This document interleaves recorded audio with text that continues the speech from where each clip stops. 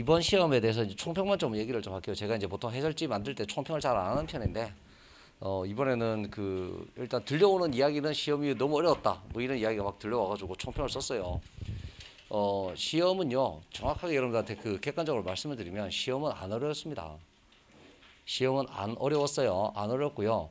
시험은 어, 우리 고등학교 교과 수준을 벗어나는 문제가 어, 없는 벗어나는 문제가 없는 수준에서 문제가 정말 깔끔하게 잘 나왔다 이렇게 보시면 됩니다. 논란 될 만한 문제도 없고 그다음에 어 그래서 어떤 사람이 시험을 잘 칠 수 있었느냐라고 이야기를 하게 되면 기본 개념에 충실한 사람이 문제를 가장 잘 풀 수 있었다라고 저는 생각을 합니다. 그렇게 생각을 하고요. 어, 이런 문제들을 잘 풀기 위해서 공부를 어떤 식으로 해야 되느냐라고 하게 되면 기본적인 이론을 자꾸 반복해서 공부하는 거 말고는 다른 방법이 없어요. 다른 방법이 없어요. 그래서 여러분들한테 미리 말씀 좀 드리면 어, 앞쪽으로도 좀 넘겨주세요. 앞쪽에 아직 못 받으신 분들 있으니까 앞쪽으로 좀 넘겨주십시오. 자,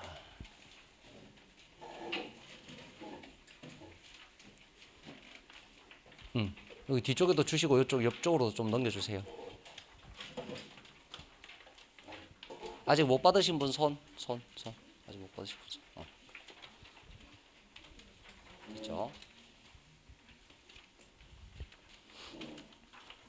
그래서 제가 이제 총평에다 써놨어요. 총평에다 써놨는데 에, 아직도 이제 조금 아쉬운 점은 뭐냐면 정치와 법적은 내용이 좀 줄어들었는데 문제가 계속 열 문제가 출제가 되고 그 다음에 그러면 이제 다른 과목들에 대한 상대적 비중이 증가했다고 봐야 되는데 거기서는 문제가 계속 적게 출제가 되니까 어, 문제 배분이 좀 좋지 않았다라고 하는 거 빼면 제가 볼 때는 문제 문제 수준은 되게 완벽했다라고 생각이 듭니다. 그렇게 생각이 들어요. 어, 기본적으로 여러분들 보시면 에, 뭐 이렇게 설명 좀 드릴게요. 문제가 이제 어렵게 느껴지는 이유가 뭐냐면 이거야. 가장 대표적인 것만 얘기할게. 이번에 만약 시험을 치는데 경제가 어려웠다고 생각하시는 분 있으시면 이분은 경제 공부를 처음부터 다시 하셔야 돼요. 경제 공부 처음부터 다시 하셔야 되고 사회 문화는 사실 말씀드리면 문제가 조금 어, 까다로운 게 있긴 있지. 그지? 왜냐하면 이제 그 계층 이동에서 문제가 조금 까다로운 게 있긴 한데 그래도 우리 수준을 못 풀어낼 문제는 없다라고 저는 생각이 들거든요. 그래서 그거는 괜찮고 그 다음에 이제 넘어가면 이제 정치와 법적으로 넘어가게 되면 내가 볼 때 어려운 문제가 아무것도 없는 거야. 왜 어려운 문제가 없느냐면 뭐 우리나라의 구체적인 법 조문을 묻는다거나 헌법 조문을 묻는 문제가 아무것도 없어. 하나도 없어. 하나도 없어. 그 교과 내용만 제대로 알고 있으면 그 답을 다 쓸 수 있는 그런 문제가 되는 거야. 그러니까 우리가 공부를 해 나가는 방식 자체가 잘못된 잘못됐다고 말을 하는 게 뭐냐면 보세요. 교과가 있어요. 고등학교 교과가 있죠. 고등학교 교과가 있는데 이 교과 과정에서 벗어나는 문제들이 출제되는 경우가 있느냐라고 하게 되면 출제되는 경우가 있죠. 있습니다. 여태까지 있었어요. 없었던 적이 없습니다. 계속 있었습니다. 계속 있었으니까 사람들이 생각할 때 뭐냐면 이거를 열심히 공부를 해도 이거를 못 맞추니까 이걸 공부하는 게 중요한가 보다라고 생각을 하는 거야. 그럼 공부를 하는 게 어디로 가냐면 여기로 맞춰지겠지. 이렇게 맞춰진단 말이야. 공부를 어떻게 하냐고? 법조문을 하나하나 뜯어가지고 외워. 법조문을 하나하나 뜯어가지고 외워. 막 열심히 외운다. 막 열심히 외우는데 그런 문제가 출제가 하나도 안 되게 되면 이거 공꽝인 거야. 되냐? 문제는 뭐냐면 이걸 알고 있으면 이거는 대충 끼워 맞춰가지고 맞출 가능성이 생겨. 이렇게 되거든. 이것만 알고 있고 이걸 모르잖아. 그럼 이걸 알고 있는 걸 가지고 이걸 맞출 수 있냐? 절대 못 맞춰. 그러니까 어려운 거야. 뭔 말인지 알겠냐? 됐지? 그러니까 이게 공부하는 핀트를 잘못 맞췄어. 그래. 공부하는 핀트를 잘못 맞춰서 그래서 문제, 여러분들이 문제가 어렵다고 느낀 거고 솔직히 말씀드려가지고 뭐 그냥 막말로 제가 이렇게 얘기했습니다. 수능 특강 공부하고 수능 완성 공부한 사람이 이런 문제 봤잖아. 제가 볼 때는 12분 만에 다 풉니다. 12분 만에 다 풀고 문제가 뭐 있다고 지 내가 뭐 계속 함정에 들어가나 이렇게 고민할 정도 그 정도 수준의 문제라고 보시면 돼요. 어려운 게 아무것도 없어요. 어려운 게 아무것도 없어요. 어렵다고 징징대지 마. 어려운 거 아니야. 잘못해 뭐 점수 안 나왔으면 이거 공부 잘못한 거야. 그거 100% 확실해.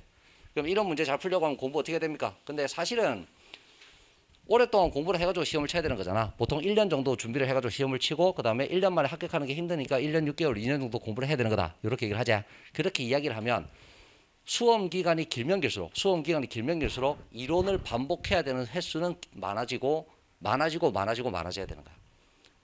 무슨 말씀인지 아시겠습니까? 그러니까 여러분들 공부를 하실 때 보통 학원 커리큘럼이 어떻게 되냐면 이렇게 돼 있죠. 이론이 있으면 이론은 처음에 한번 배운 다음에 그 다음에 계속 뭐지? 계속 반복이지. 똑같은 거 두 달 단위로 계속 그냥 되잖아. 맞지? 그러니까 이걸 어떻게 해야 되냐면 이거를 끊임없이 계속 들어야 되는 거야. 이걸 끊임없이 계속 들어야 되고 그럼 이게 보통 반복되는 게 언제 반복이 되냐면 오후에다 반복이 된다고 이게 오후에다 반복이 되니까 오전에는 뭐가 있냐면 오전에는 특강 또는 특강 또는 문제풀이가 있겠지. 이렇게 되는 거지. 그러니까 보통 제가 알고 있기는 그래요. 여러분들 학원에 등록을 하시면 한 과목 듣는 걸로 등록을 하시는 게 아니라 일정 기간 동안에 학원에서 진행되는 모든 수업을 다 들을 수 있도록 이렇게 보통 등록을 하지. 그렇게 등록을 했다면 밑에 있는 거 다 듣는 게 맞는 거야. 다 듣는 게 맞아요. 이게 다 들어도 니네도 잘 생각해 보면 이론이 뭐 우리가 두 달 단위로 개강이 되니까 이론이 두 달 단위로 개강되니까 이론 수업을 내가 1년에 여섯 번은 들을 수 있는 갑다. 이렇게 생각하는데 그렇게 안 나와. 왜냐면 우리 학원은 월화 한 과목, 수목 한 과목, 금토 한 과목 이렇게 있고 여기에 다 뭐가 있어? 다 중복돼갖고 나오잖아. 그러니까 딱 뭐 그냥 대놓고 이야기를 하게 되면 수요일하고 목요일에 행정법, 수요일하고 목요일에 국어 이렇게 되시니까 그두 개를 동시에 들을 수는 없지. 그지? 그러면 3월달, 4월달은 국어 듣고 5월달, 6월달은 행정법 듣고 그 다음에 두 달 두 달 동안 국어 또 안 들었어요. 또 까먹었다 싶으면 또 듣고 그 다음에 또 행정법 까먹었다 싶으면 또 듣고 그게 돼야 되는 거야.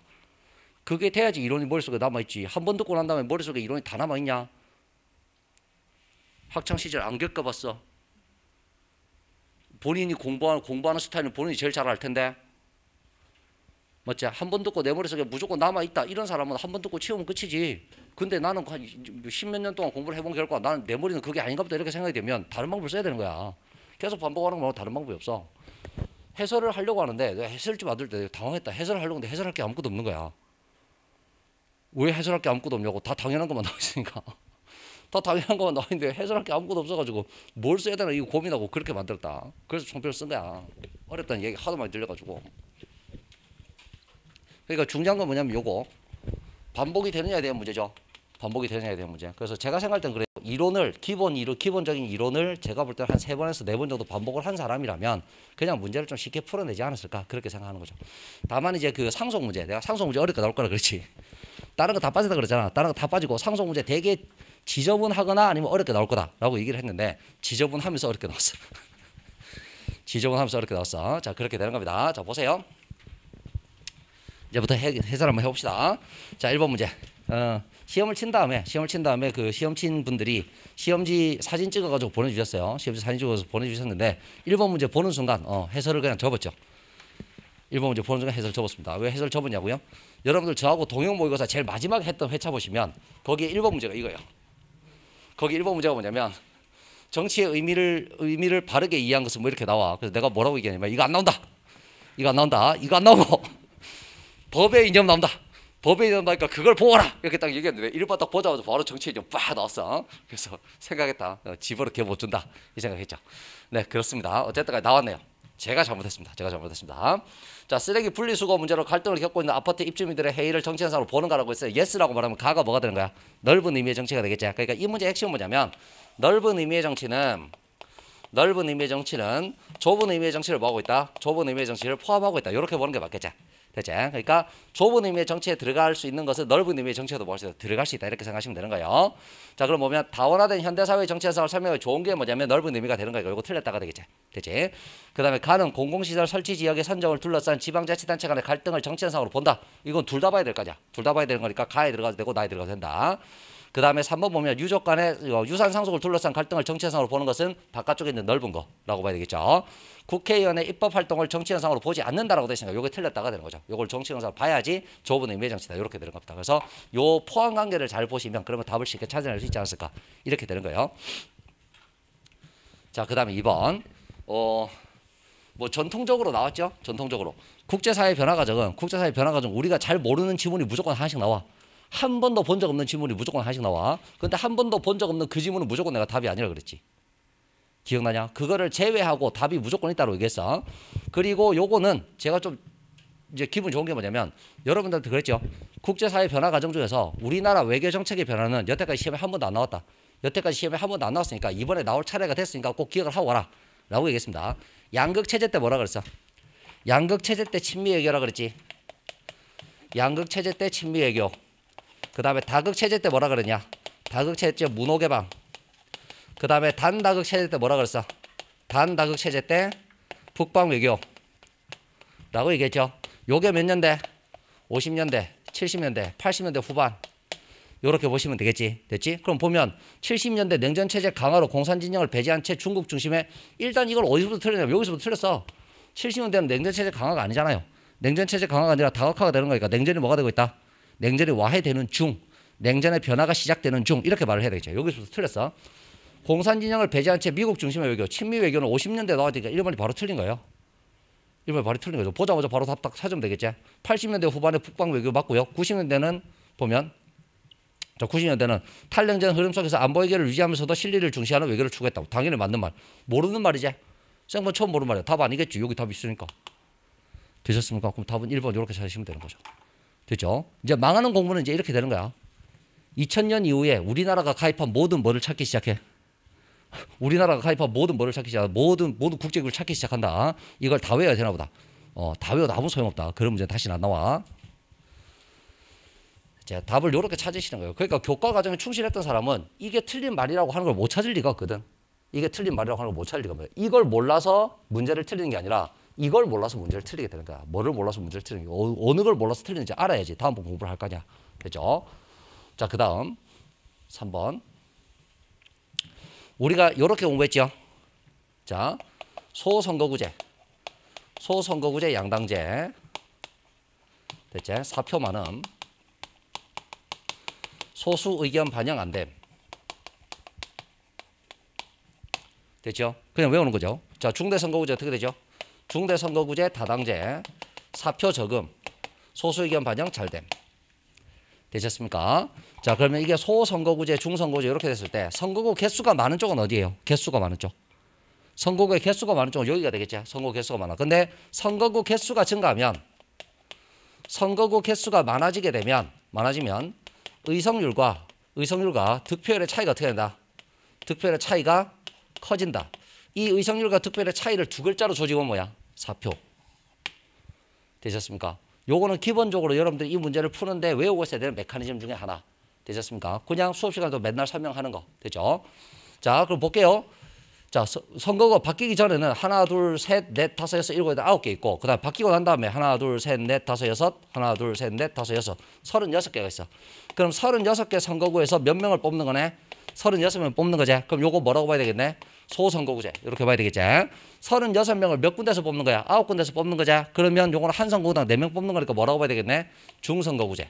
이렇게 봐야 되겠죠. 그러면 유권자와 대표 간의 유대관계 형성이 어려워진다라고 돼 있는데 유대관계라고 하는 말은 뭐냐면 친밀감이라고 생각하면 되거든. 근데 요거는 좁은 지역에서 유명한 사람들이 주로 나오게 될 거 아니에요. 그러니까 이렇게 되게 되면 유권자 대표 간의 형, 그 유대관계 형성이 어려워진다가 아니라 쉬워진다 이렇게 말을 해야 되겠죠. 그다음에 군소정당의 난립으로 전국이 불안정해진다. 뭐가 됐으니까 소선거구제가 됐으니까 뭐가 되겠네? 양당제 되겠네. 니은 확실하게 틀렸다 이렇게 되겠죠. 그다음에 디귿 보시면 유권자가 후보자에 대한 상세한 정보를 얻기가 유리하다 이렇게 돼 있는데 후보자에 대한 상세한 정보를 얻기, 얻기 유리한 것은 소선거구제가 되겠죠. 나오는 사람이 한 명밖에 없을 거 아니에요. 그러니까 출 이제 나오는 사람이 내랑 내가 잘 아는 사람이 나올 수도 있죠. 됐냐? 누가 출마해가지고 막 저를 찍어주신다면 뭐 이러고 있는데 어저 아저씨 우리 옆집 아저씨가 뭐 이렇게 될 수도 있어. 그렇게 되니까 됐죠? 사표 발생의 증가로 정당 득표율과 의석률과 격차가 커진다. 정확하게 우리가 맨날 수업 시간 설명했던 거 나왔죠? 이렇게 보시면 됩니다. 근데 충격적인 건 그거였어. 선생님 이게 이렇게 됐는데 이거 도대체 무슨 말인지 를 몰랐습니다. 개수 세는 거예요. 개수 세는 거 됐죠? 자료를 해석하는데 어려움이 있을 수는 있다. 그거는 제가 이해합니다. 됐죠? 근데 이렇게 나와 있으면 뭐 하면 되겠네? A가 하나, 둘, 셋, 네 개로 쪼개지고 B가 B1, B, B3, B4 이렇게 돼 있잖아. 네 개로 쪼개진다 이렇게 되는 거야. 되셨습니까? 자, 그다음 볼게요. 다음은 복수정당제 유형 가나의 일반적인 특성을 비교한 것이다. 이에 대한 설명으로 옳은 것이라고 되어 있죠. 양당제, 다당제 나왔네. 여기 이제 그대로 다 있다 그죠? 양당제, 다당제 이렇게 딱 되고 있으니까. 자, 국정 운영의 책임 소재가 명확한가? 예라고 되시니까 여기가 뭐가 되겠네? 양당제. 여기가 다당제. 이렇게 되는 거예요. 자, 1번부터 갑니다. 가이면서 의원 내각제를 채택하고 있는 국가의 경우에는 연립 정부가 구성될 가능성이 크다. 뭐 이렇게 되겠지. 맞는 말 되겠죠? 다당제면 이렇게. 자, 가에서는 정당 간 대립이 발생할 때 중재가 비교적 어렵다. 이거 틀렸죠. 다당제는 중재가 쉽다라고 보는 게 맞습니다. 됐죠? 왜냐하면 정당 두 개가 싸웠으면 다른 정당이 뭐 하는 거야? 다른 정당이 야 국민들 보기에 부끄럽지 않나? 하해 해라. 뭐 이런 식으로 나오게 되는 거지. 자, 그다음에 2번 보면 나인 국가에는 정, 두 개의 정당만 존재한다. 수업 시간에 제가 여러분들 우스갯소리로 그런 얘기하죠. 좀 웃어보라고 그런 얘기합니다. 미국에 가면 아메리카 공산당이 있다고. 미국은 양당제 국가야, 다당제 국가야. 미국은 양당제 국가야. 됐나? 미국 양당제 대표적인 양당제 국가거든. 근데 양당제 국가인데 뭐가 있어? 정당이 서른 개가 넘는단 말이지. 그러면 결국 양당제라고 해가지고 정당이 두 개만 존재하는 건 아니구나 하는 거 수업 시간에 충분히 설명됐죠. 자, 그 다음에 나보다 가가 민주적이다 이렇게 돼갖고 있는데 둘 중에서 어느 게 민주적인지는 알 수가 없죠. 되셨습니까? 양당제라도 한 당이 독재를 하고 있는 경우도 있고 다당제라도 또 한 당이 또 독재하고 있는 이런 경우가 생길 수 있으니까 민주주의의 정도를 보는 것은 이런 게 아니다 이렇게 보시면 됩니다. 요 문제는 어떻게 수능에서 주로 출제가 되냐면 의원 내각제하고 대통령제 중에서 어느 게 더 민주적이게 이렇게 물어본단 말이야. 어느 게 더 민주적이게 두 개를 알 수가 없어. 그건 알 수 없다 이렇게 되는 거지. 뭔가 가슴이 웅장해지네요. 국회의원 어떻게 뽑는지 아나? 국회의장 어떻게 뽑는지 아나? 기억나시죠? 근데 제가 그 설명을 끝낸 다음에 그 다음에 마지막에 뭐라고 했는지 기억나세요? 이런 거 안 나와. 이런 거 안 나와. 와, 와, 이 정도면 이 정도면 거의 과학 아닙니까? 이 정도면 과학 아닙니까? 그죠? 자, 국회는 의장 1인과 부의장을 선출하고 임기가 4년이에요. 몇 년? 2년 됐지? 야, 지방직에 꼭 나와라. 지방직에 그 국회의장 어떻게 뽑는지 꼭 나와라. 어떻게 뽑는다고?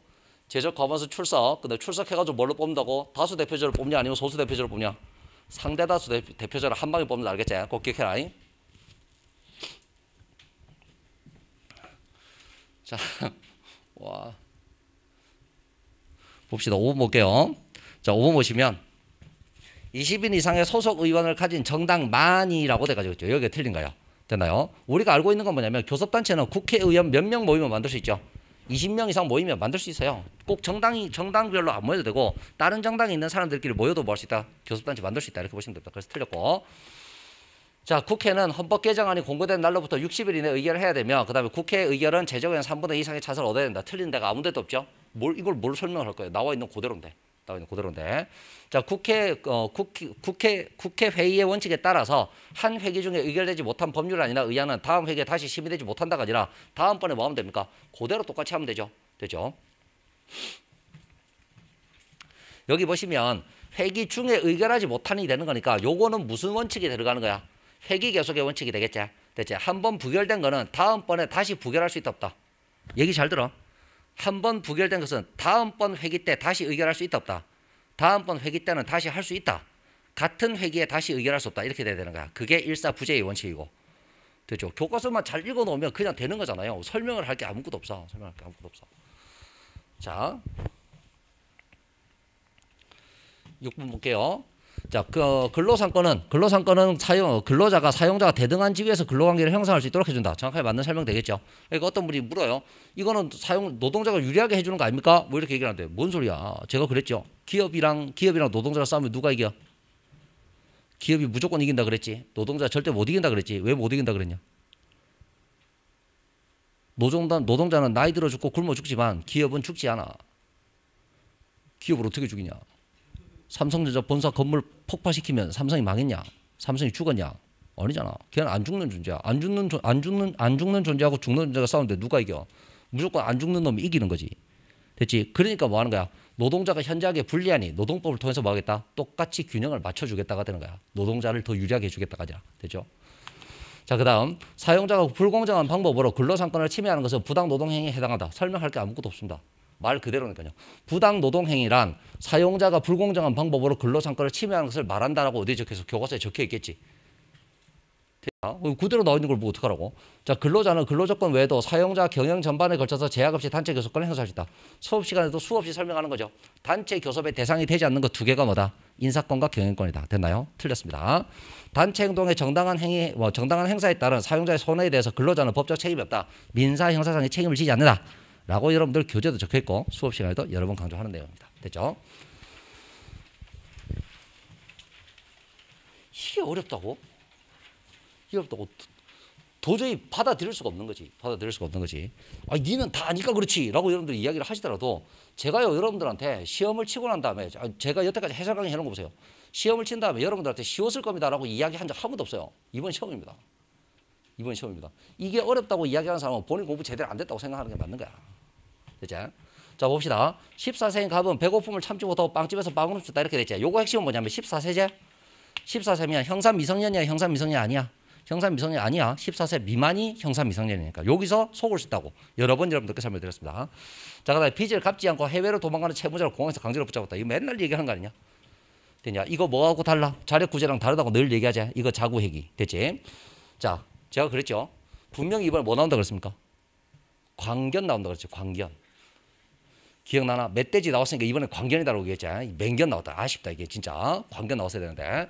자 병은 갑자기 나타나 달려드는 맹견을 피하기 위해서 대문이 열린 남의 집으로 들어갔다. 요거 뭐 긴급 피난으로 위협성 조각. 위에 있는 건 자구 행위로 위협성 조각 되겠지. 정은 정은 친구의 가방에서 돈을 훔쳤는데 친구는 그 사실을 알지 못하고 있다. 이거는 범죄지. 절도죄가 되는 거야. 그러면 책임 능력 없다. 틀렸죠? 있죠. 그 다음에 의뢰 행위는 자구 행위에 해당해서 위협성 조각 맞고 병의 행위는 긴급 피난에 해당해서 위협성 조각 맞고 정의 행위는 절도죄 구성 요건에 해당하지 않는다. 틀린 내용이 되겠죠. 사실은요, 여러분들이 이게 뭐 여기 범죄 성립 요건은 다시 범죄 범죄의 범죄 구성 요건 같은 경우에는 구성 요건 해당성 같은 경우에는 복잡하기 때문에 여러분들 잘 안 따져 놓을 수도 있어요. 이게 되는지 안 되는지 아리까리 할 수도 있다. 대체 근데 이거 세 개는 뭐야? 공부할 때 필수적으로 알고 있어야 되는 거거든. 필수적으로 알고 있어요. 그러면 이거 세 개만 알면 답은 그걸 찾을 수 있잖아요. 그죠?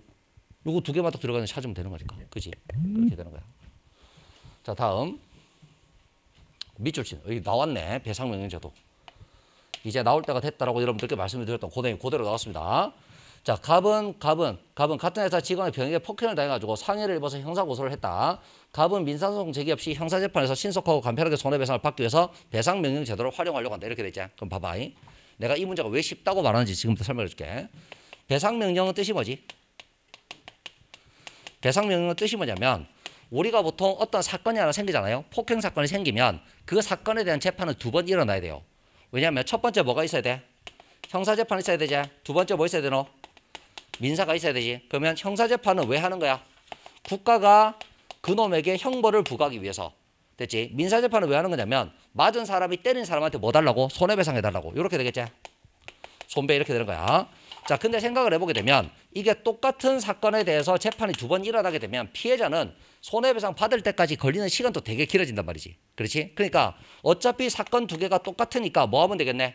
사, 하나 재판할 때 다른 거 묶어 엎어서 엎어치면 되겠네. 이렇게 되는 거지. 그래서 어디다 뭐를 엎어쳐? 형사 재판을 할 때 민사 재판을 뭐 한다? 같이 포함해 가지고 하는 거다. 요게 뭐야? 배상 명령. 요렇게 되겠죠. 그럼 생각해 보세요. 이 사람이 손해배상을 받는다라는 이야기는 이 형사 재판에서 폭행을 저지른 사람이 잘못했다는 뜻이잖아. 이해되겠지? 그러면 여기서 뭐 나와야 되겠네? 유죄 나와야 되겠지? 유죄 나와야지 요거를 해가지고 뭐 할 수 있다? 바로 받을 수 있다. 이렇게 되겠지. 되냐? 요게 교과서에 설명되어 있는데요. 되셨습니까? 그러면 실제는 내용은 뭐냐면 배상명령은 언제까지 해야 돼요? 어, 2심 끝나기 전까지 해야 되지. 말로 해야 돼요? 서면으로 해야 돼요? 둘 다 할 수 있어요? 서면 또는 뭘로 할 수 있다? 서면 또는 구두로 할 수 있다. 봐라, 공부가 잘못됐다 이거. 이거는 다 알고 있는데 이건 아무도 모르잖아. 공부가 거꾸로 됐지. 됐나? 그러니까 어렵게 느껴지는 거야. 할 건 안 하고 안 해도 되는 것만 해놨다 이거. 되냐? 부끄럽다. 이. 부끄럽다. 어디 가가지고 이번 사회 문제 어렵다 하지 마. 겁나 부끄럽다. 자, 그 다음 형사보상. 이제 너무 많이 해서 지겹지 않냐? 너무 지겹지 않냐? 해볼게요. 자, 기억, 이 갑이 기억을 통해서 손해배상을 받기 위해서는 병이 당해 재판에서 유죄 판결을 받아야, 받아야 한다. 답 1번 끝이네. 그지? 2번 보면 불구속 수사 틀렸죠?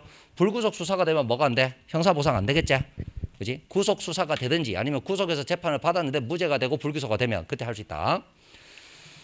자, 그 다음 볼게요. 많이 모르겠어요. 제가 만약에요, 이게, 이것도 나올 때 뭐가 나오냐면, 형사 보상에 대해서 이야기를 하는데, 형사 보상에 대해서 이야기를 하는데, 자, 피의자는 어디 가서 형사보상 받아야 돼? 자, 피의자는 피의자가 구속돼 갖고 수사받았는데, 불기소 나왔어. 어디 가야 되노? 검찰 가야 되겠죠. 검찰 어디 가야 되노? 형사보상위원회 가가지고 이거 신청해가지고 받아야 된다 문제 나왔으면 내가 볼 때는 어렵다라고 얘기를 할 거야. 교과 과정에서 벗어났고 문제가 역같다 뭐 이렇게 얘기할 거다.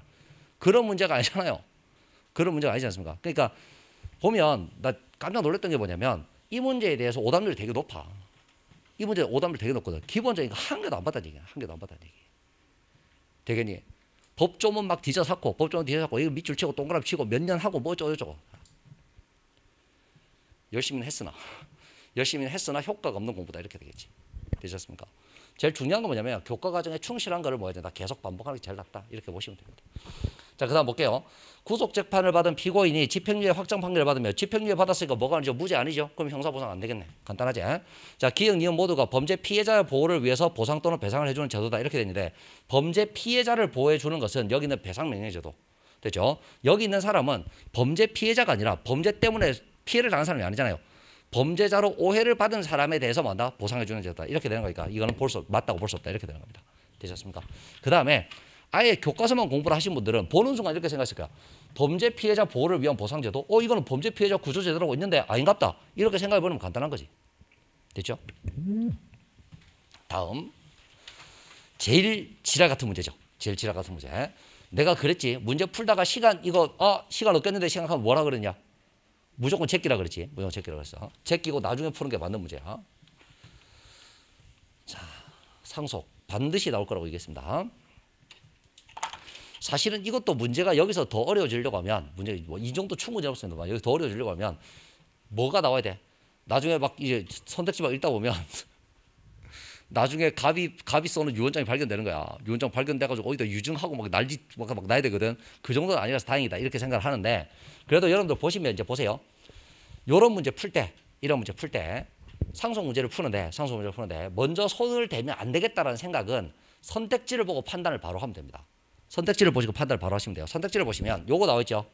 무슨 무슨 경우라고 나와 있지. 무슨 무슨 경우라고 딱 나와 있으면 케이스가 한 개가 아니라 두 개, 세 개 막 나와야 되거든. 그렇게 되면 시간이 많이 걸린단 말이야. 그래서 선택지에 무슨 무슨 경우라고 딱 나와 있으면 일단 손 안 대고 나- 다른 것부터 푸는 게 맞아. 다른 거 풀어놓고 그 다음에 이거 풀면 돼. 됐죠? 자, 몇 가지가 나올 것이다라고 하는 거 우리가 생각을 해야 되겠죠. 자, 문제를 보니까 갑과 을은 혼인 신고 한 다음에 병, 어, 자녀 병과 그 다음에 어, 정을 낳고 살고 있다. 어느 날 각과 병이 큰 교통사고를 당해서 시차를 두고 두 사람이 사망했다 이렇게 되죠. 동시 사망은 아닌 거예요. 그죠? 시차를 두고 사망했다. 사망 당시 각과 병의 재산은 각각 14억이다. 이 각각 14억이니까 누구누구 14억, 14억 다 가지고 있다는 얘기지. 이해되나? 그럼 이거 보는 순간 뭐 해야 돼? 꼬리를 말아야 돼. 꼬리를 말아야 돼. 아, 이거 지금 푸는 거 아니다. 이렇게 생각하고 바로 넘어갔어야 되는 거야. 왜? 상속액을 계산할 때 이 사람 거 계산해야 되고 이 사람 거 계산해야 되지. 문제가 단순하게 돼도 상속액을 몇 번 계산해요? 두 번 계산해야 돼. 이렇게 되는 거라. 그러니까 이거는 아니다. 이렇게 생각하고 넘어가는 거지. 그렇지? 자, 그럼 일단 봅시다. 우리 이제 차근차근 풀거 될 거니까 제가 다 해볼 거예요. 첫 번째는 갑이 먼저 죽고 그 다음에 병이 죽은 경우야. 갑이 먼저 죽고 병이 죽는 경우야. 그럼 갑의 재산이 14억이고 병의 재산이 14억이니까 갑의 재산 7억이 일단 아, 다시 요렇게 요렇게 요렇게 나눠지겠죠. 됐죠? 이렇게 거예요. 그럼 이렇게 나뉘어지게 되면 14억이니까 7억 단위로 나누면 되겠지. 그러면 2억, 2억, 3억이니까 얼마씩 가져가겠네? 2억, 2억, 3억이니까 4억, 4억, 6억 이렇게 가져가겠지. 됐지? 그러면 플러스 4억, 4억, 6억 이렇게 가져가겠다. 그 다음에 누가 사망을 하는 거야? 그 다음에 여기 있는 병이 사망을 하게 되는 거니까 병이 사망하고 나면 재산은 누구에게로? 을한테로 다 가겠죠. 이렇게 되니까 플러스 얼마? 플러스 18억 이렇게 되니까 이 사람이 전체가 얼마가 되겠네? 24억 되겠네. 이렇게 되는 거예요. 됐죠? 그러면 갑이 먼저 사망한 경우 정은 갑 사망 시 갑의 재산 중 4억을 상속받는다. 맞는 내용 되겠죠? 됐죠? 그럼 요거 아닌갑다 이렇게 되는 거야. 그 다음에 두 번째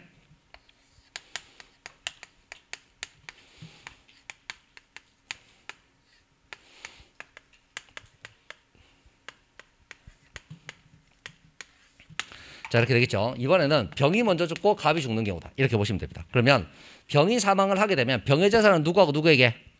병의 재산은 갑과 을에게 나눠지겠죠. 됐죠. 그러면 요 사람이 일단 14억 가지고 있고 14억 가지고 있고 이렇게 됐으니까 이쪽으로 7억이 가고 여기 얼마가 가겠네? 플러스 7억 되겠지. 그럼 요 돈이 얼마가 되는 거야? 이 돈이 21억 되겠지. 됐지. 요렇게 된 다음에 그 다음에 이제 어떻게 된다? 그 다음에 여기 있는 갑이 사망을 하게 될 거니까 갑의 재산은 을하고 누구한테? 을하고 정한테 넘어가게 되겠죠. 됐죠? 그럼 이 20억을 나누는 것 자체가 쉽지는 않단 말이지. 그러면 이거 어떻게 하시냐면 일단 제일 먼저 어떻게 하시냐면 일단 무조건 20억부터 먼저 나눠줘. 20억부터 먼저 나눠줘. 10억이면 어떻게 나눠지노?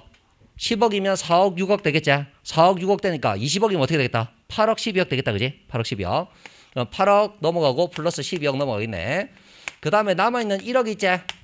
남아있는 1억. 그 1억이 어떻게 되겠네? 4천만 원, 6천만 원 나뉘어지겠지? 그럼 여기 플러스 얼마?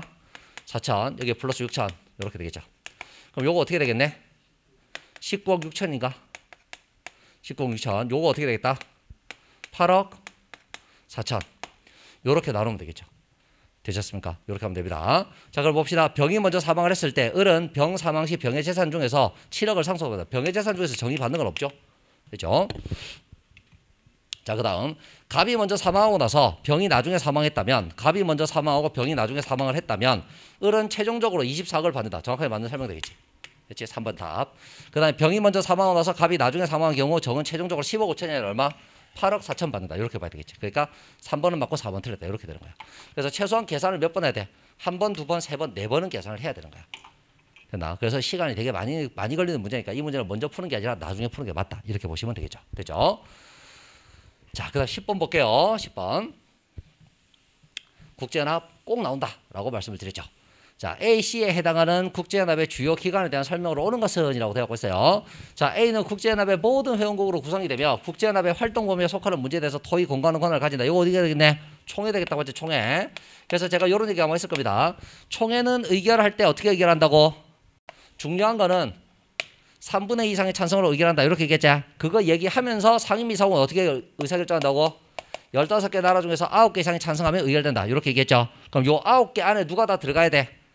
상임이사국이 다 들어가야 되겠지. 그래야지 거부권 없으니까. 됐지? 자, 그 다음에 C는 국제사법재판소. 이렇게 보시면 됩니다.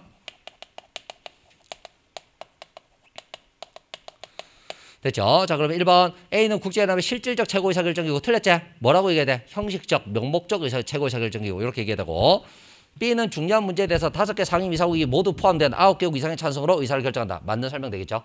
그 다음에 3번 보면 C는 서로 다른 국적의 15년의 재판관 요까지 맞습니다. 강제적 간헐권이 아니라 뭘 가지고 있다? 임의적 간헐권 가지고 있다. 이렇게 봐야 되겠죠? 강제적 간헐권과 임의적 간헐권의 차이도 여러분들 알고 계셔야 돼요. 이 문제도 사실은 우리가 여태까지 출제했던 스타일 어려운 문제다라고 이야기를 하려고 하면 여기 있는 15명의 재판관 어디서 뽑아요? 어디서 뽑아요? 총회에서도 뽑고 어디서 뽑아? 안전보장 이사에서 뽑는다. 이렇게 나왔어야지. 그게 어려운 문제가 되겠죠. 가장 기본적인 건 모르는 거야. C는 판결을 이행하지 않은 당사국에 대해서 직접 제재를 가할 수 있다. 틀렸다는 거 알고 계시죠? 직접 제재권이 없기 때문에 판결에 대한 강제력이 약하다. 이렇게 여러분 보시는 게 맞겠죠. 됐죠? 자, 그 다음에 11번. 사회 변동의 방향을 설명하는 이런 가나에 대한 설명을 옳은 것이라고 돼 있어요. 자, 봅시다. 가는 뭐죠? 가. 진화론. 나는 뭡니까? 순환론. 진화론, 순환론 구분 못하시는 분은 아무도 없을 겁니다. 이 문제가 조금 까다롭다라고 하는 것은 3번이에요. 3번. 3번을 보시면 가는 나와 달리 인간의 주체적 행동을 과소평가한다, 비판을 받는다 이렇게 되지. 요건 뭔 소리고? 이거 얘들을 보면 그 생각 진화론하고 순환론 둘 다 거시적 관점이야, 미시적 관점이야. 둘 다 거시적 관점. 그러니까 틀렸다 이렇게 되겠죠. 됐죠? 자, 이게 좀 힘든 내용이지 않았을까 그렇게 봅니다. 자, 운명론적 시각은 시각은 순환론으로 그 다음에 이전보다 발전된 모습으로 변동한다고 보는 것은 진화론으로. 그럼 답은 요거 나오겠지? 됐지? 자, 나는 가와 달리 미래 사회 변동을 예측에 대응하기 적합하지 않다는 비판을 받는다. 맞는 내용이 되겠죠? 자, 이렇게 보시고 그 다음에 12번. 요것도 어려워하는 분들 있어요. 어, 여러분들한테 제가 억수로 강조하는 건 아닙니다만 수능 치는 친구들한테 늘 강조하는 게 뭐냐면 그냥 머릿속으로만 생각하지 말고 손으로 네가 생각하는 거 한번 써봐. 그림을 그려봐. 도식화를 시켜봐. 이런 걸 막 시키거든요. 그런 걸 시키는데 그게 필요한 게 요게 됩니다. 질문도 요거 되게 많이 받았어요. 보세요. A국은 오랜 전쟁 끝에 B국을 정복하고 식민통치했다고 됐지. 그러면 이게 전쟁하고 식민통치 같은 경우에는 문화접변이 일어나기에 가장 최적의 상황 아니냐. 됐지? 그럼 이건 문화접변 상황이다. 이렇게 우리가 봐야 돼. 문화 접변 상황이야. 문화 접변 상황이 되니까 뭐가 되는 거야? 전파가 활발하게 일어날 수 있다. 이렇게 되겠지. 전파가 될 수 있는 모든 경로가 다 열려버렸다. 이렇게 보면 되는 거야. 그래서 문화 접변 상황 하에서 이 상황 하에서 뭐가 일어난다? 전파가 활발하게 일어난다. 이렇게 여러분들 보시면 됩니다. 됐죠? 자, 보니까 A국과 B국이 있어. A국이 있고 B국이 있는데 일단 A국을 보니까 B국의 사람들이 자연스럽게 A국 의복 받아들이면서 B국은 고유한 의복의 자체를 감췄다. 이렇게 됐지. 그러면 A국 의복이 어디로 들어갔네? 비국으로 들어갔다. 이렇게 되겠지. 그럼 비국은 뭐가 일어났어? 문화 동화가 일어났지. 자기 나라가 없어졌잖아. 맞지? 자, 그 다음 A국에서는 B국의 고유한 향신료를 A국 정식 전통 음식에 전복시켰다. 그러면 향신료가 어디로 들어갔네? B국에서 향신료가 일로 들어갔네. 그래서 새로운 음식이 만들어진 게 어디고? A국에서 새로운 게 만들어졌지. 그럼 여기가 뭐가 되는 거야? 문화 융합되는 거지. 됐지? 답 1번. 끝. 되셨습니까? 안 써놓고 머릿속으로 보니 머릿속으로 보면 어때요? 자꾸 헷갈리거든. 됐죠? 쓰면 바로 보인다. 이렇게 되는 것이. 됐죠? 자, 2번 봅니다. A국과 달리 B국에서는 간접 전파에 의한 문화 변동이 일어났다. 문화 간접 전파에 의한 문화 변동이 일어났다는 말은 여기서 어디를 찾아도 없어요. 됐나요? 간접 전파가 되려고 하면 뭐가 나와야 돼? 무엇인가 매개체가 돼야 되겠지? TV를 봤다거나 뭐, 뭐 인터넷을 봤다거나 이런 말이 나오는데 그런 말 전혀 없어. 알 수가 없다. 그 다음에 B국과 달리 A국에서는 강제적 문화 접변으로 문화 변동이 발생했다. 없어요. 없어요. 우리 의복으로 바꿔 이렇게 얘기했나요? 아니잖아요. 자연스럽게 받아들였다 되겠지. 이거는 뭐야? 이거는 자발적 문화접변이라고 보는 게 맞겠지. 틀렸어. 자, 그다음 A, B 국 모두 내재적 요인에 의해서 두 개가 뭐였지? 왔다 갔다 하면서 왔다 갔다 하면서 되니까 전파 외재적 요인이다 이렇게 보는 게 맞겠죠. 됐죠? 답은 1번. 자, 13번. 요것도 가슴이 좀 웅장해지네요. 뭐 보고 판단하라 그랬죠? 가설 보고 판단하라. 기억나십니까? 자, 학교 적응 정도의 이성교제 여부가 미션 영향을 분석한다. 가설을 보니까 이성교제 경험이 있는 학생이야 되겠지. 요게 뭐가 되는 거야? 독립변수. 독립변수. 그렇지 않은 학생보다 학교 적응도가 높을 것이다. 종속변수. 요렇게 보는 게 맞겠죠? 됐죠? 그 다음에 제가 여러분들한테 모집단 찾을 때는 어디 보라 그랬죠? 모집단 찾을 때는 연구 목적 보라 그랬지? 됐나? 그럼 여기 뭐라고 적혀있냐? 청소년이라고 적혀있지? 이게 뭐야? 모집단. 이렇게 되지. 이거를 검증하기 위해서 얘들을 뽑았으니까 얘들 둘 다 뭐가 된다? 표본 집단 되겠지. 됐지? 갑니다. 가설 세우고 들어갔으니까 뭐죠? 실증적 연구. 그러면 방법론적, 이론론. 그 다음에 기억은 종속변수, 그 다음에 니은 독립변수인데 두 개가 바뀌었다. 그죠? 맞지? 기억이 뭐가 돼야 돼? 학교에 대한 적응 정도가 종속변수. 이렇게 돼야 되니까.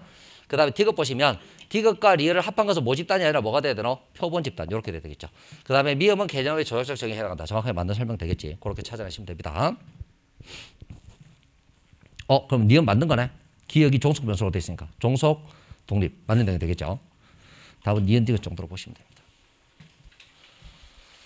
자, 다음.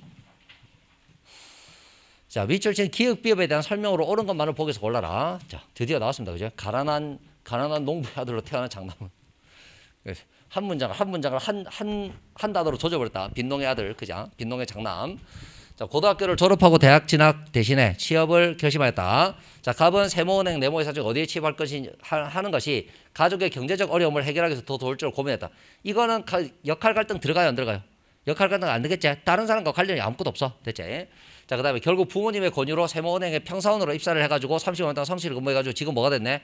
어, 지점장 되셨다. 이렇게 보면 되겠죠. 그럼 이걸 보면 지점장이 된 거는 부모님하고 비교해봐도 뭐가 된 거야? 계급 상 이제 계층이 올라갔지. 그러니까 이거는 세대 간 이동 맞고 처음에 시작할 때 뭘로 시작했노?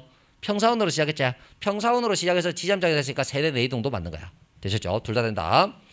자, 그럼 봅니다. 기억부터. 자, 기억은 기속지 위에 장남은 기속지 맞고 디귿과 비읍. 디귿이 뭐냐? 디귿 평사원. 그 다음에 비읍이면 은행장 되겠네. 전부 다 성취지 맞죠? 기억은 맞는 되겠네요. 자, 니은은 갑의 역할 갈등에 해당하지 않는다는 것을 우리가 문, 지문 읽으면서 바로 봤고요.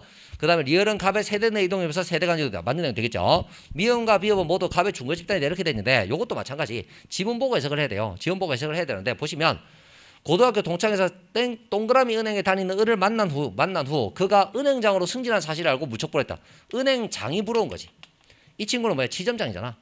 지점장이 높아, 은행장이 높아. 그렇지. 저는 은행 안 다녀서 모르겠는데요. 뭐 이렇게 되면 할 말 없다. 어, 이야기라면 지점장보다는 은행장이 훨씬 높아. 맞지? 나도 은행장 됐으면 좋겠다. 이렇게 생각을 하는 거지. 됐지? 만약에 이게 이 사람이 지점장이라고 돼 있으면 됐나? 지점장이 이게 지점장이라고 돼 있으면 지금 갑하고 올해 뭐가 똑같아? 계급 계층이 똑같지? 그 지점장 지점장인데 저 친구 부러워 이렇게 되면 뭐가 부러운 거야? 은행이 부러운 거야. 됐지? 그게 아니라 은행장이 된 걸 부러워한다가 되는 거니까 이건 뭐가 될 수 없다. 여기 있는 어디 이 은행은 중거 집단을 볼 수 있는 근거가 없다 이렇게 되는 거야.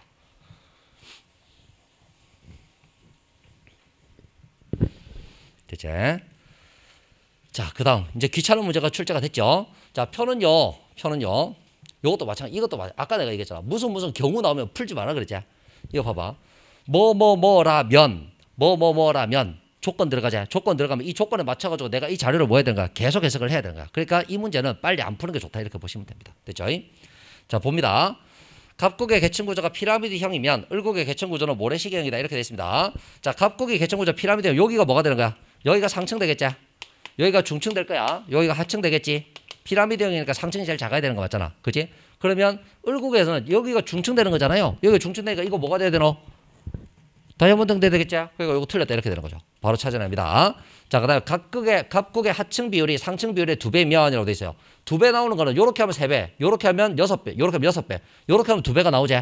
그러면 요렇게 되겠네. 요게 하층이 되겠다, 그죠? 아니, 여기가 하층이 되겠네. 하층 비율이 상층 비율의 두 배라면 그럼 여기가 중 되겠지. 이렇게 되는 거죠. 그럼 갑국을 보게 되면 상중 하중에서 중이 작지. 이거 뭐라고 봐야 되겠네? 모래시계형이다. 이렇게 보는 게 맞겠죠? 이거 타원형 아니라 모래시계형입니다. 자, 그 다음에 3번 B에서 A로의 이동이 하강 이동이고 B에서 A로 이동이 하강 이동이고 B에서 C로 이동이 상승 이동이면 이라고 돼 있어요.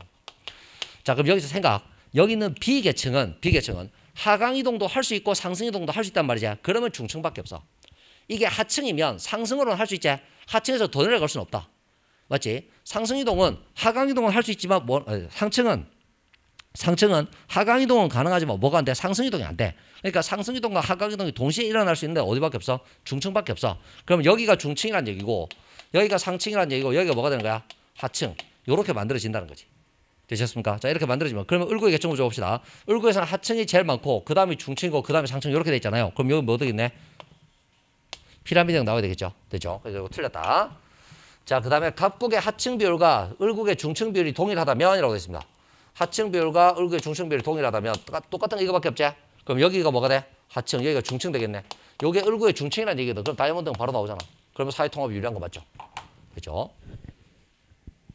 시키는 대로만 풀면 되는 문제라서 시키는 대로만 풀면 되는 문제라서 차근차근 생각하고 시간이 좀 걸리는 문제긴 합니다만 이 문제가 아주 어렵다라고 말하기는 어렵습니다. 그죠?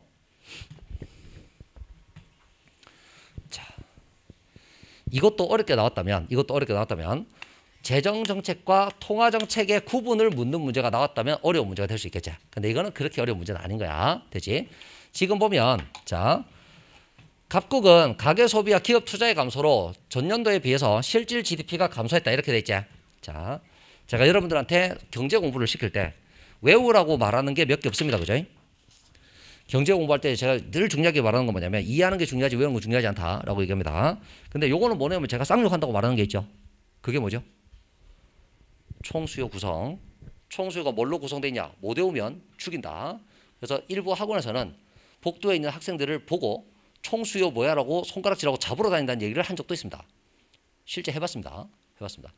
어, 실제로 그렇게 해보게 되면 그 해에 이런 문제에 대한 정답률이 굉장히 높습니다. 그죠? 시키는 대로 안 하니 내가 어떻게 해줄 수 있는 방법이 없네. 됐나? 외워. 자, 내가 외우라고 한 것만 한번 다 써볼게.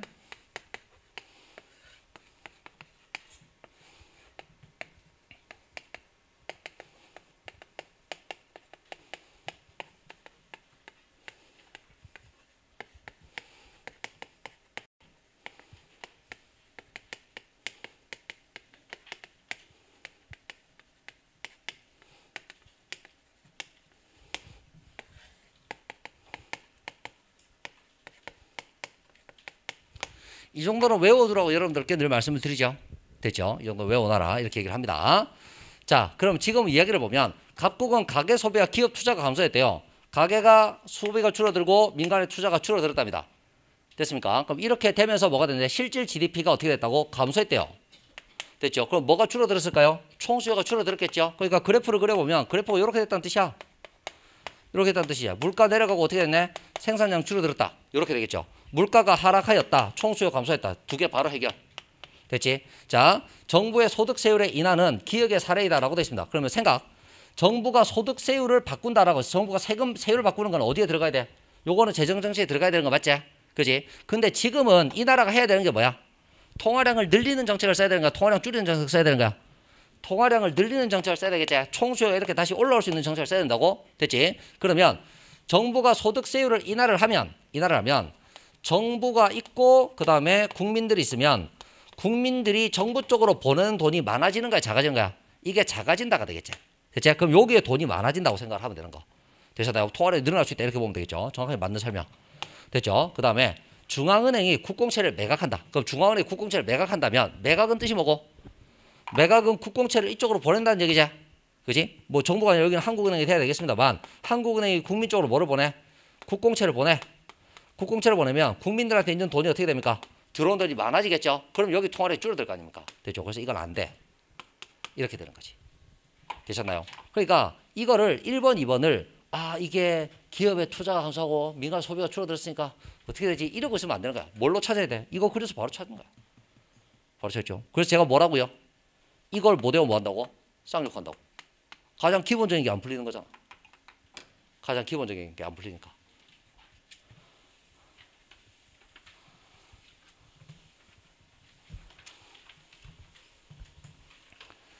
됐지? 자, 이렇게 보시고 그 다음에 17번 갑니다. 자, 17번 보시면 요것도 우리가 많이 했던 거죠. 많이 했던 건데 문제가 더럽게 뭐라고 해야지 귀찮게 나왔어. 뭐 일곱 개나 해. 한 다섯 개 정도 하면 되지. 자, 어 보자 평균 수입이 나와 있다 맞지? 평균 수입 총 비용 나와 있어요. 그럼 여기서 우리가 총 수입 바로 구할 수 있죠. 총 수입 어떻게 구하면 됩니까? 두개 곱하면 총 수입 바로 나오는 거 맞지? 그러면 요거 얼마? 천 원. 여기 이천 원. 여기 삼천 원. 여기 사천 원. 여기 오천 원. 육천 원. 칠천 원. 써놓고 그 다음에 바로 뭐 나오겠네? 이윤 나오겠네.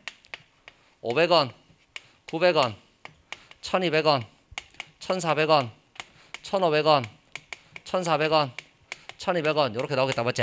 그러면 이윤 제일 많을 때가 언제? 다섯 개일 때 이렇게 구해놓고 생산량이 하나씩 증가할 때마다 총수입의 증가분은 점점 커진다라고 되는데 총수입의 증가분은 천 원씩 계속 증가되잖아요. 그러니까 증가분 자체가 증가되는 건 아니다 이렇게 되겠지. 증가분은 그대로 동일하다. 그 다음에 생산량이 한 개씩 증가할 때 총 비용의 증가분은 점점 작아진다 이렇게 되는데 자 봅시다. 600원 증가했고요. 그 다음에 얼마 증가했죠? 700원 증가했죠. 요까지만 봐도 끝이죠. 점점 감소한다고 되어 있는데 어떻게 있어? 커졌다. 커지는 구간이 있다. 이미 틀렸다. 이렇게 되겠죠. 3번 봅니다. 생산량이 3개일 때보다 5개일 때 이윤이 크다. 답. 생산량이 6개일 때 이윤이 극대화된다. 5개일 때 극대화된다. 틀림. 이렇게 되겠지. 됐지?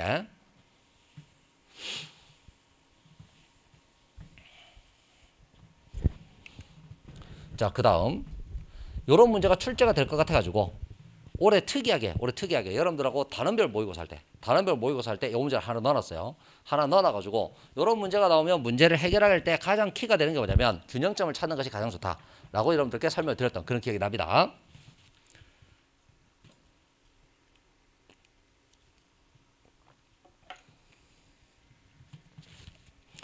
자.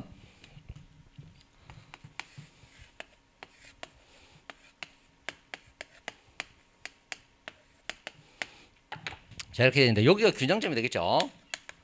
여기가 균형점인데 이 균형점이 가지고 있는 좀 좋은 좋은 힌트라고 하게 되면 요게 똑같다는 거야. 요게 똑같다는 거지. 수요량과 뭐가 똑같아? 공급량이 똑같다가 되는 거거든. 그럼 요게 뭐지? 수요함수 수요량이잖아요. 수요량은 100에다가 3p 빼면 뭐가 나와? 수요량이 나온다는 뜻이야. 공급량은 20에다가 p를 다 마이너스 20에다가 p를 넣으면 뭐가 나와? 공급량이 나온다 이 말이거든. 그 말이니까 그러면 생각. 자, QD는 수요량은 이렇게 쓸게. 쉽게. 수요량은 100-3p, 공급량은 공급량은 마이너스 20 플러스 p. 이렇게 써놓은 다음에 우리가 지금 찾는 건 요 균형점을 찾고 싶은 거잖아요. 균형점을 찾고 싶은 거니까 요거 두 개가 같다라고 넣으면 되겠지. 요거 두 개가 같다. 그럼 이거 두 개가 같으니까 뭐 하면 되겠네? 그냥 빼면 돼. 그냥 빼면 돼. 빼면 요거 두 개 값이 같으니까 요거 두 개 없어지겠지. 그럼 요거 빼면 얼마 나오노? 120 나오지? 요건 얼마 나와? 마이너스 4p 나오죠? 요거 이꼴 0 되겠죠. 됐죠? 그럼 요거만 여기로 넘기면 되겠네. 4p는 120. p는 얼마? p는 30. 이렇게 되겠다. 그럼 30을 여기다가 집어넣으면 그럼 q 얼마 나오고 있네? 10 나온다. 이렇게 되겠죠. 그러면 가격이 30원일 때, 가격이 30원일 때 균형 거래량이 얼마? 10개 이렇게 되는 거야. 됐죠? 그 다음에 계산을 복잡하게 해야 되는 게 있냐? 아무것도 없어. 보자. 가격이 시장 가격이 25원이라면 그럼 시장 가격이 25원일 때 보자. 시장 가격이 25원이면 균형 가격보다 높아야 낮아요. 균형 가격보다 낮죠. 균형 가격보다 낮으면 초과 공급량이 생길 수가 없다. 가격이 낮으니까 뭐가 생겨? 초과 수요가 생기자. 그럼 이거 이미 틀렸잖아요. 계산 안 해도 됨. 그 다음에 2번 가격 상승에 따라서 수요량이 증가하는 수요함수다. 그럴 리가요. 가격이 올라가면 수요량이 줄어들고 있는 거 보이지 않습니까? 됐죠? 틀렸죠? XJ 시장 균형 가격은 30에 10이다. 맞는 내용이 될 거고요. 그 다음에 최고 가격을 32 이상으로 설정을 하게 되면 맨날 첫날 우리가 시험 문제 풀 때 했던 거 아닙니까? 최고 가격을 여기다가 설정을 하면 어떻게 돼? 효과 있다 없다? 효과 없다 이렇게 되겠죠? 가격 상한제 정책 목적을 달성할 수 있다 하는데 달성할 수 없다 이렇게 되겠지. 되셨죠? 계산은 요거 한 번만 하면 끝나는 문제. 됐지? 여러 개 계산해가지고 실제로 초과 수요량이 20이다 해가지고 여기 구하고 여기 구하고 차이가 얼마가 되냐 이걸 계산해야 되는 문제면 제가 이 문제에 대해서 쌍욕을 날렸을 겁니다. 그런 문제가 아니거든요. 그런 문제가 아니에요. 균형점 아느냐? 그 다음에 그 균형점을 어떻게 이용할 줄 아느냐? 이거 물어보는 거야. 됐죠? 자.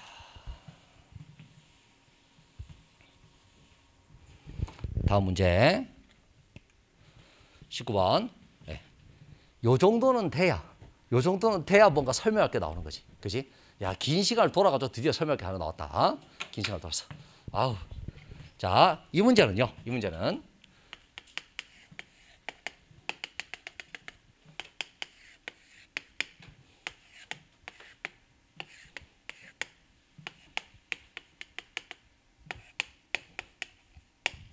됐지? 똑같은 제와 x제야. 똑같은 자가 X인데 두 나라가 뭐 하고 있는 중? 지금 교역 안 하고 있는 중. 그러고 있다가 두 나라가 뭐 하기 시작해? 교역을 하기 시작해. 그러면 두 나라가 교역을 하기 시작하면 A국이 수출하는 나라가 되는 거야? B국이 수출하는 나라가 되는 거야? B국이 수출하는 나라가 되겠지? B국 이쪽으로. 이렇게 수출하면 여기가 이제 PB쯤 될 건데 여기 있는 요 A국은 아, 여기 있는 B국은 수출을 할 때 꼭 PB 가격으로 수출할까? 그건 아니란 거지. 가격을 좀 높여도 상관이 없지? 뭐보다만 싸면 대로. 어, 요거보다만 싸면 요거보다만 저렴하면 여기 있는 사람들이 좋다고 살거 아니야. 우리나라에서 사면 PA인데 저거 수입된 거 사면은 뭐다? PB에 살 수 있으니까 싸다. 뭐 이렇게 될 거야. 그래서 가격이 요쯤에서 결정이 될 거란 말이지. 됐지? 요게 PW가 될 거야. 국제 거래 가격 이렇게 보시면 됩니다. 됐나요? 자, 근데 이제 여기서 여러분들 한 개 더 기억해야 되는 건 뭐냐면 이거지. 뭐냐면 이렇게 거래가 이루어질 때 이런 이론을 펼쳐 나가는 경제학자들은 반드시 뭐라고 이야기를 하냐면 이 시장은 완전 경쟁 시장이라고 얘기를 해. 무슨 시장? 완전 경쟁 시장 이렇게 얘기한다. 완전 경쟁 시장에서는 하나의 가격에 대해서 가격이 몇 개밖에 없어. 하나밖에 없거든. 일물 일가 원칙이 적용되는데 이렇게 되는 거야. 그러면 이제 가격은 다 두 나라 모두 다 뭘로 대동단결? PW 대동단결 이렇게 되겠지. 그러면 수입하는 나라는 원래 자기들 가격보다 가격이 낮아 아니면 높아? 낮아진다 이렇게 되겠지. 수출하는 나라는 원래 자기 나라 가격보다 가격이 어떻게 된다? 올라간다 이렇게 되는 거야. 이해되셨습니까? 되죠? 요게 핵심이 되겠죠. 요걸 이해를 하고 있어야지 뭐 할 수 있어. 저 문제를 풀 수 있어. 보면 지금 보면 P1일 때가 뭐냐면 T년도의 국제 가격이야. 그럼 국제 가격이 T P1이고 자기 나라 안에 규정 가격이 얼마고 P0이제 됐지? 그렇게 돼 있으면 T년에는 자기 나라 안에 국내 가격이 뭐보다 저렴하노? 국제 거래 가격보다 낮지? 그럼 얘들은 이거 수출할까 수입할까? 수출하겠지? 요때 수출국. 수출국. 수출량이 얼마쯤 됩니까? 수출량. 요만큼이 수출량 되겠지? 되셨습니까? 자기 나라 안에서 소비를 하고 남는 거 뭐 하는 거야? 수출한다 이렇게 생각하면 돼. 됐지? 두 번째. 이게 T 플러스 1년이 되면 요때는 뭐가 되는 거지? 자기 나라 균형 가격보다 가격이 국제 거래 가격이 낮잖아요. 그럼 얘들은 이때는 수출해야 돼 아니면 수입해야 돼? 수입한다 이렇게 되겠지? 수입국이 되는 거야. 이때는 수입국이 되는 거고 그러면 요만큼이 뭐가 되는 거죠? 요만큼이 수입량이 되는 거죠. 요만큼이 수입량이 되니까 요게 뭐가 되는 거야? 이게 뭐다? 이게 수입량 국제 거래량이다 이렇게 보면 되겠죠. 이해되셨습니까? 그러면 이게 수입을 하게 되면 자기 나라 안에서 수요를 하고 있는 수요량이 어디까지 가죠? 수요량이 Q1에서 끝나는 겁니까? Q2까지 수요를 하는 겁니까? 요까지 쓰는 거죠. 요까지 수요한다가 되겠지. 자기 나라에서 수출하게 되면 얼마 얼마밖에 없어? 요거밖에 못 쓴다 이렇게 되겠지. 됐지? 자, 그럼 갑니다. 1번 T년에 T년에 각국은 X제를 수입한다. 수출하는 나라네요. T 플러스 1년에 각국의 X제 교역량은 Q0 Q이다. Q0 Q가 아니라 뭐가 돼야 돼? Q1 Q이다. 이렇게 보는 게 맞지. 됐지? 다음 자 T년에 각국 소비자잉여는 T 플러스 1년보다 크다라고 되어 있습니다. 봅시다. T년의 소비자잉여는 어떻게 나와요? 얘네들이 소비할 수 있는 양이 어디까지밖에 안 나와? Q1까지밖에 안 나와. 그러니까 요만큼이 뭐가 되지? 요만큼이 소비자잉여가 되겠지? 됐지? 그러면 T 플러스 1년은 어떻게 되노? 소비를 이만큼 할 수 있으니까 요만큼 소비할 수 있으니까 요게 소비자잉여가 되겠지? 어디가 큰지는 바로 보시죠. 바로 보시죠. 됐죠? 어, 요거 틀렸다가 되겠지? 자, 그 다음 T 플러스 1년의 각국의 총 잉여는 잉여는 무역을 하지 않는 경우와 비교했을 때 이만큼 증가했다 이렇게 되어 있습니다. 봅시다. 무역 안 하면 어떻게 나오죠? 요만큼이 뭐가 되노? 요만큼이 소비자잉여, 요만큼이 뭐가 되지? 생산자잉여 되겠지? 됐지? 무역을 하면 소비자잉여 어떻게 바뀌어요? 소비자잉여 이렇게 바뀌자. 무역하면 소비자잉여 이렇게 바뀌고 그 다음에 여기가 생산자잉여 될 거야. 그러면 증가되는 뭐는 증가되는 사회적 잉여는 요만큼이 될 거란 거지. 됐나? 그럼 요 삼각형에 뭐를 구하면 되네? 넓이 구하면 되지? 삼각형의 넓이 어떻게 구하노? 어, 밑변 곱하기 높이 곱하기 그 다음에 뭐? 2분의 1을 하면 되지? 됐나? 그럼 밑변이 얼마고? 요만큼이지? Q1, Q2 Q1, Q2 높이가 얼마고? P2, P0 되겠지? 됐지? P0, P2라고 써도 상관없어 P0, P2 됐나요? 요거 곱하기 2분의 1이니까 밑으로 뭐가 들어가면 되겠다? 2분의 이렇게 들어가면 되겠죠? 됐나? 됐죠? 이렇게 찾아내는 겁니다. 자, 그 다음 볼게요. 드디어, 드디어 결실을 맺었죠. 결실을 맺었죠. 어, 이 문제 틀린 사람은 복도 대피해라. 진짜 복도 대피해라. 알았지? 제가 어제 유튜브에서 flying knee kick이라고 하는 신기술을 하나 봤습니다. flying knee kick이라는 신기술을 봤습니다. flying knee kick 들어갈 수 있다. 조심해. 자, 어, 명목 이자율 보이고 뭐가 보이죠? 실질 이자율 보이죠? 그럼 우리는 한 개 더 보여야 되는 게 있어요. 뭐가 보여야 되죠? 물가 상승률 보여야 되죠. 되죠? 명목이자 실질이자 그 다음에 뭐가 보여야 돼? 물상률이 보여야 되겠지. 됐지? 명목 이자가 어떻게 되냐면 2, 2, 아니 미안, 2, 1, 1 이렇게 돼 있고 실질 이자가 1, 마이너스 1, 그 다음에 2 이렇게 돼 있어요. 2018년, 2019년, 2020년 이렇게 돼 있죠. 요거 두 개 빼면 뭐 나옵니까? 물상률 나오죠? 그럼 요거 1, 요거 두 개 빼면 뭐 나온다? 2, 요거 두 개 빼면 마이너스 1 이렇게 나오겠네. 됐지? 여러분들 해설지 보면 요거 아마 잘못 적혔을 거야. 뭐 잘못 적혔을 거야. 요거 좀 수정 좀 해놔.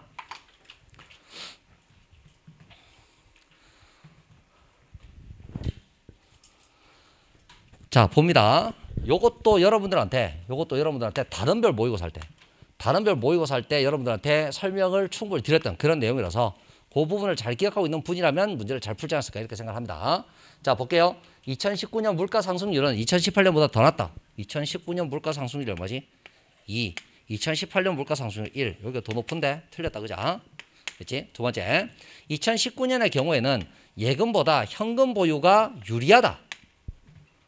되나? 예금보다 현금 보유가 유리하다. 맞는지 보자. 자, 2018년에 내가 100만 원 가지고 있어. 현금으로 그대로 가지고 있으면 2019년에 이게 얼마로 변하지? 100만 원으로 변하지? 어, 교수님 안 변했는데요. 어, 안 변한다는 뜻이야. 됐죠? 근데 제가 만약에요. 요 100만 원을 현금으로 보유하는 게 아니라 만약에 내가 예금으로 은행에다가 넣어놨다면 요거 얼마로 변합니까? 명목 이자율 몇 프로? 1%제. 요거 얼마 되겠네? 101만 원 되겠죠? 어느 게 유리하죠? 예금하는 게 유리하죠. 되죠? 현금 보유가 유리하다가 틀렸습니다. 되셨죠? 뭐를 보고 사람들이 오 실질이자가 마이너스니까 실질이자가 마이너스니까 현금 가지고 있는 게 좋겠다. 틀렸습니다. 거기에 속지 말라고 여러 번 설명을 드렸습니다.